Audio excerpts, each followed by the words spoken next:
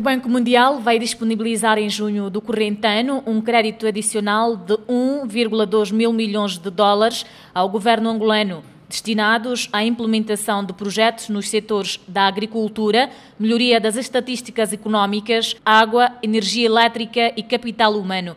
Anunciou esta quinta-feira o diretor executivo da instituição financeira, Fábio Kankezuk. O responsável falava à imprensa à saída de uma audiência com o presidente da República, João Lourenço, com quem abordou questões relacionadas com as formas mais eficazes de apoio do Banco Mundial aos programas de impacto social no país.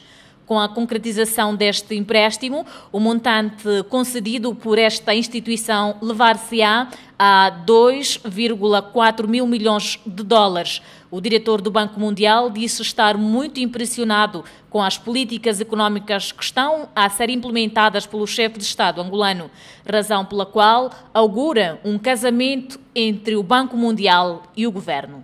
O Banco Mundial já tem atualmente em projetos aqui 1,2 bilhões de dólares. E está completamente aberto para qualquer interação em muitas áreas distintas, seja em aumento de produtividade de agricultura, seja em auxílio ao relançamento do setor privado, seja em estudos juntamente com o Instituto de Estatística, não há um limite é, máximo de quanto o Banco é, Mundial pode é, ajudar Angola nisso. Está completamente aberto e com ansiedade de poder fazer o melhor possível. Para o ministro angolano das Finanças, Asher Mangueira, que assistiu à audiência, o atual casamento entre o Banco Mundial e o governo vem no momento certo, principalmente porque Angola está a lidar com uma instituição cujas finalidades de financiamento são diferentes de outras agências financeiras comerciais.